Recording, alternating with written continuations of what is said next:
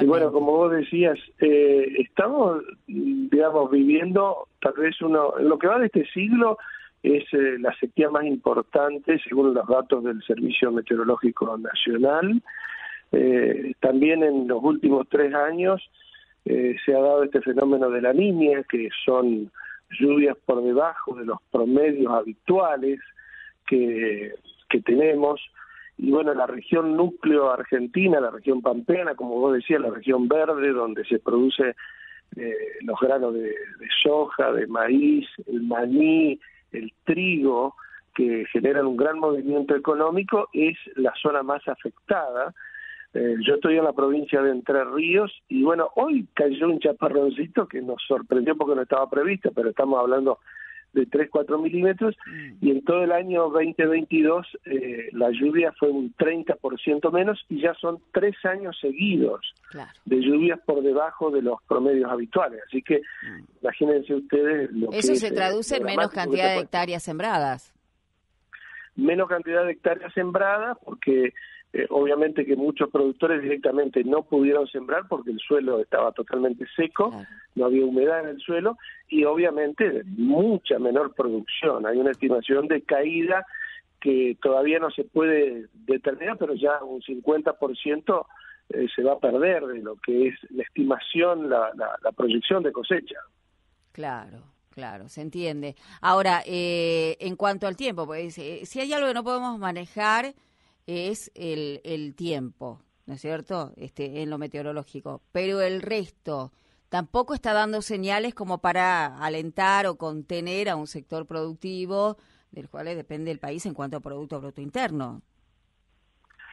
Y mira, eh, la perspectiva climática, eh, si bien hay mucho más eh, herramientas, por decirlo de alguna forma, hay mucho más satélite, mucha más información, que le permiten a los meteorólogos hacer proyecciones, igualmente no son, eh, tampoco son muy alentadoras. Por lo menos en este primer trimestre del 2023, hasta marzo las condiciones seguirían bastante parecidas.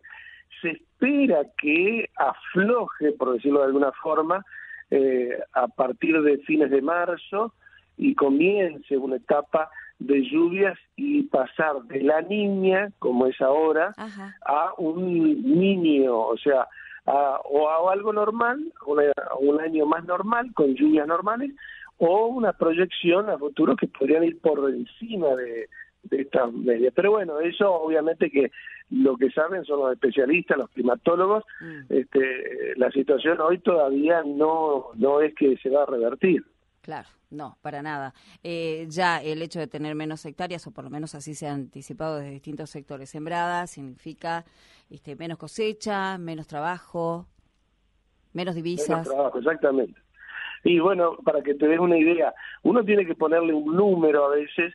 Eh, nosotros acá, yo estoy en la provincia de Entre Ríos, y nosotros nos damos cuenta cuando falla una cosecha, eh, si uno dice, bueno, eh, la soja en Entre Ríos por año da dos millones de toneladas y este año vas a tener un millón de toneladas, ese millón que falta hay que ponerle el número que el precio que vale cada tonelada y ahí nos damos cuenta y dimensionamos lo que va a faltar de circulante.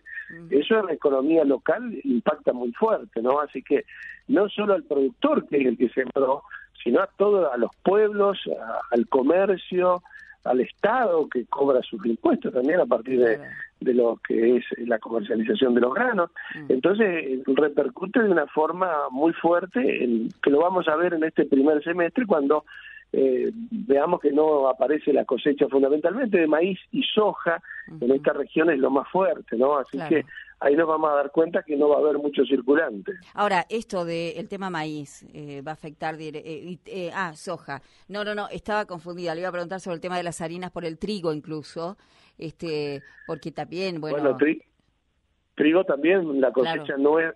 Mirá la excepción, nosotros en Entre Ríos tuvimos una cosecha espectacular, porque acá se dio una condición climática favorable. El trigo no necesita mucha humedad y Entre Ríos tuvo lluvias al inicio del año 2022, en el otoño, que es la época normal de lluvia, eso cargó con humedad los suelos y bueno, la cosecha de trigo que se hace durante el invierno se desarrolló con normalidad, podríamos decirlo, si bien faltó algo de agua, pero no fue afectada por, por plagas y, tuvimos una cosecha que eh, fue muy, muy buena, eh, por encima del, de los promedios históricos, pero no en el resto del país donde se siembra mucho más. La mm. provincia de Buenos Aires, la provincia de Santa Fe y Córdoba, que son las principales provincias trigueras, eh, han tenido una caída de un 40-50%. Es tremendo. Esto, eh, bueno, porque el movimiento de la harina este, se va a dar eh, seguramente con un producto que va a llegar muy caro a nuestra región. ¿Puede llegar a escasear incluso o no? Bueno, no creo que escasee porque hay suficiente, o sea, la cosecha va a ser suficiente para abastecer el mercado interno. Obviamente que va a haber una puja entre los exportadores que tienen sus compromisos y los molinos harineros. Y ustedes que están en una zona alejada de, del grueso de los molinos harineros, mm. seguramente puede repercutir en los precios. Pero bueno, yo creo que eh, en eso eh, el gobierno nacional tiene una política que a algunos no les gusta, un poco intervencionista, pero tiene que garantizar el abastecimiento interno. Así que este, seguramente esto no va a faltar, no, no debe faltar porque hay, hay suficiente trigo, va a haber suficiente trigo en esta campaña como para abastecer la demanda del mercado nacional. Buen dato ese teníamos nosotros, este, por allí el, el temor y la preocupación eh, con relación al tema de la, de la escasez de trigo. Y por otro lado, no, acá los productores locales regionales plantean eh, cómo el tema de los insumos y los químicos este, han encarecido, están a precio dólar y que realmente lo que se gana en las cosechas, por ejemplo, tema tabaco, acá es un tema donde los productores están con muchos inconvenientes. Imaginamos, en líneas generales, los productores en todo el país están atravesando por esto. Tienen insumos en dólares, costos que son en dólares, pero las ganancias vienen en pesos. Exactamente, es así. Bueno, es un sector dolarizado porque está muy ligado al comercio exterior.